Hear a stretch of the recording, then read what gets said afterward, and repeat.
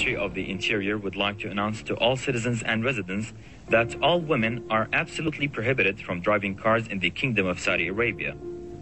It added any woman who violates this regulation will be penalized. اجتمع مجموعة من الدعاة عند الشيخ عبد العزيز بن باز مفتي عام السعودية للاعتراض على رفع الإيقاف عن الفتيات والمطالبة بمعاقبتهن يعني لما الملك فهد أنا حسيت شعرت إنه سياسي حكيم الحقيقة في هذا الأمر. تعامل معه بنوع من ال ال- الحنكة واللي يعني مشحونة بال- بالحنان كأنهم بناته ف والشاهد على ذلك مثلا صحيح إنه وقفهم عن العمل لكن ما قطع مرتباتهم. مرتباتهم كانت ماشية. رتبهم كانت ماشية.